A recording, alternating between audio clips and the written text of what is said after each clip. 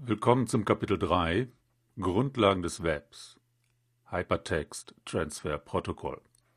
Zur Linken sehen Sie die Reaktion auf Ihre Wünsche, doch etwas wie ein Skript anzubieten.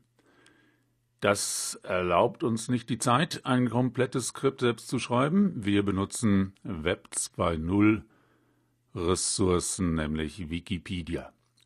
Und ja, ich bin ein Verfechter der Seriosität der Beiträge in Wikipedia. Es ist ein Reader, das heißt eine Sammlung von Artikeln, die Sie begleitend zum Studium des Faches Web Engineering verwenden können und bestens als Vorbereitung auf die Zertifikatsprüfung.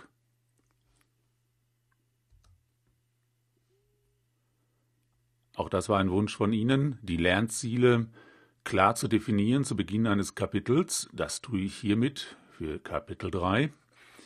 Am Ende dieser Lerneinheit sollen Sie wissen, dass das Medium Web aus unserer Sicht gesehen sehr einfach gestrickt ist. Wir benutzen das Web, die Applikationsschicht HTTP als Entwicklungsplattform und als Laufzeitsystem für unsere Anwendung. Konkret werde ich Sie in den Protokollstapel einführen.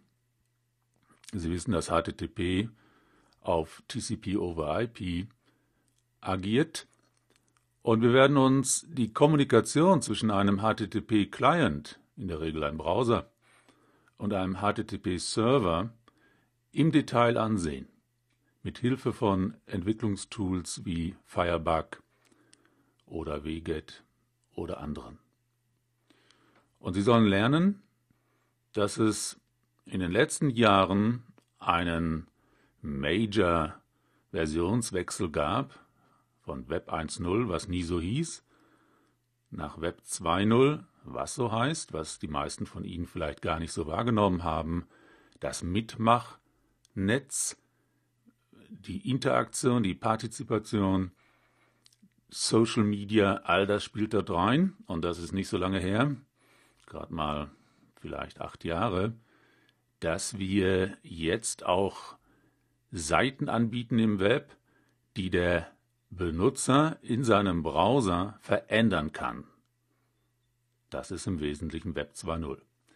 Am Ende des Kapitels sollen Sie an Fertigkeiten ähm, mitgebracht haben, äh, im Terminal natürlich sich wieder zu bewegen und das Netz, in diesem Fall das Web, äh, dahingehend zu analysieren, dass Sie Webseiten herunterladen oder ganze Websites, um diesen Begriff noch, um diese beiden Begriffe nochmal deutlich zu machen.